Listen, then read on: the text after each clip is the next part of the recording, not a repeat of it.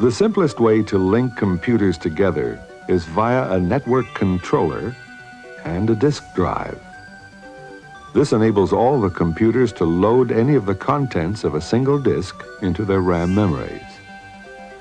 They can all load the same program, or each of them can load a different program from the same disk. The computers can also communicate with each other via the disk drive. This is an example of a local disk sharing network, which could link many computers together within a single building, whether it be a factory, an office, or a school. But computers can also be linked together over distance via a modem and a telephone.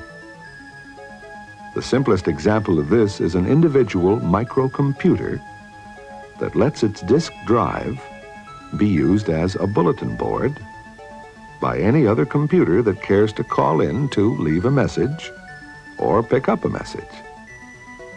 Although many computers may use this type of network, the host computer is usually so small that only one guest computer can call in at a time. This is a typical small bulletin board network. But there is a third type of network whose host computer can be very large indeed with enough computing power to run many disk drives at the same time, and therefore able to manage a large database with a tremendous variety of different sorts of data and programs stored in it.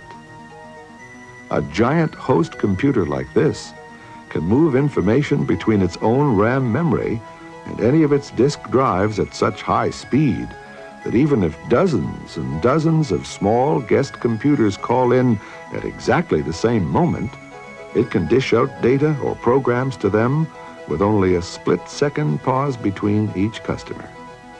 This is an example of a large database network.